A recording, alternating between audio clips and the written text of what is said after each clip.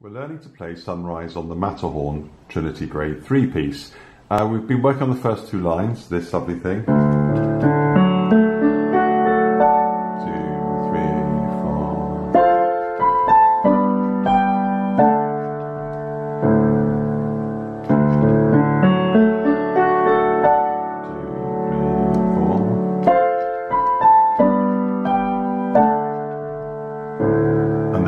To this next section, which is what we're going to look at now.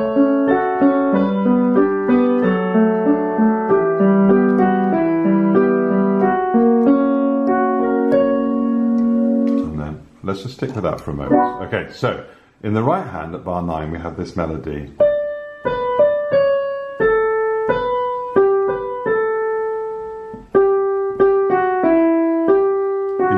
Phrases. So make sure you don't just play one great big phrase. We want a little break, just a little subtle break. So first phrase, start on the D, then B, D, C sharp.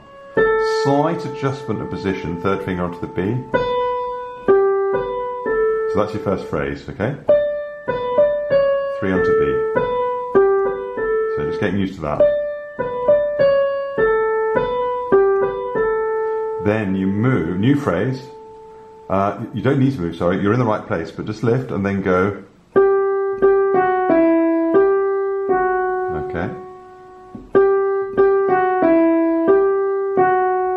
So thumb on G, three on G, back to the G, and F sharp. Then the next bit's almost the same, but an octave higher, right up there. So it's shift to your three on the B,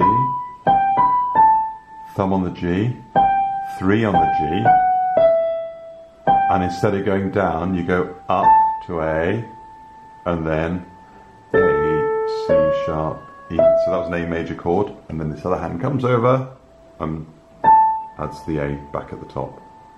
So, back to bar 9. Here's the melody again. Should we try it together? And switch to your third on B, thumb on the G, 3 on the G, four, three on B, thumb on G, three on G, slowing down a bit, fourth finger, A, C sharp, E, crossover, and add that. Okay, so let's have a little look at the left hand chords. We've got broken chords now. We've done this sort of thing before, you know, where we, things have gone that sort of pattern. That's what we've got going on here. So, as long as you can try and spot, uh, some of the chords are harder to spot than others, but some are very straightforward. This first one's a little bit tricky. This is a B minor chord, which is probably not a chord you're terribly familiar with. So you've got B, D, and F sharp. So that's the first bit. So you could just do it as a chord if you want, or break it up straight away. That's your first one at bar 9. Then the second half of the bar is a different chord. A, C sharp, F sharp, C sharp. It's actually an F sharp minor chord. Again, uh, you won't be terribly familiar, so I, I think it's probably similar if you just learn the chord. So you got first chord. Notice that the thumb stayed there. Now at the end, you may want to put your third back there, but if you put your second there at the end, it'll set up the next chord which is a G major chord. Okay, so you've got the B minor at the beginning, then the F sharp minor, G major,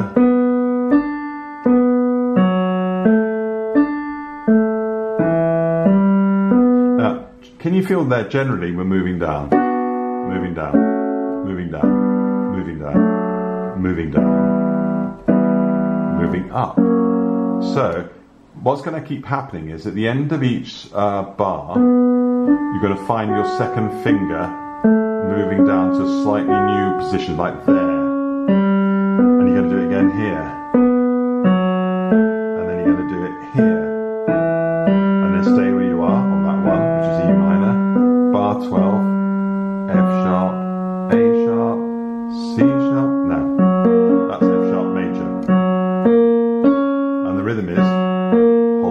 and then move your hand up and do the same chord up here. let's look at that again. Fiddly, fiddly. So, so it's B, D, F sharp, D, A, C sharp, F sharp, C sharp with your second, G, B, D, B with your second, F sharp, A, D, A with your second. It's an E minor chord now. E, G,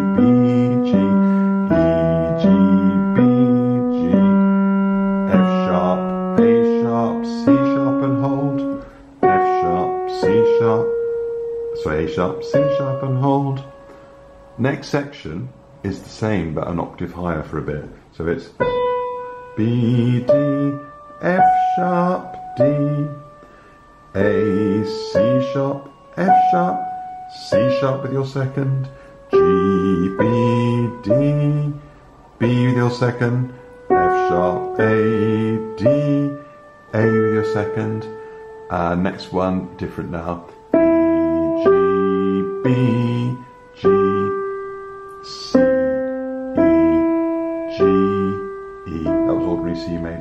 And then an A major chord. A, C sharp, E, and you hold it. And then bring your hand over the other one to play that. So you may want to just pause this video and go back and run that lots of times so you've got that left hand part going. But I shall just play it now, hands together, so you can just see how it goes. So you're going to need to have a lot of focus probably on the left hand part here. So four there, this is bar nine, so it goes.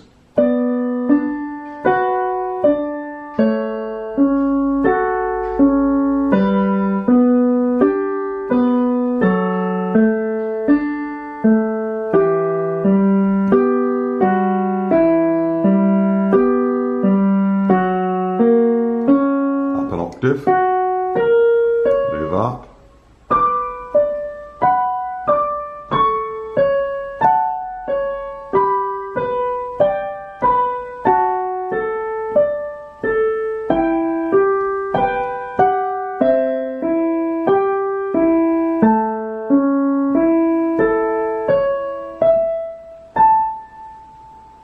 And then we'll be back into the first bit again. Easy, happy days.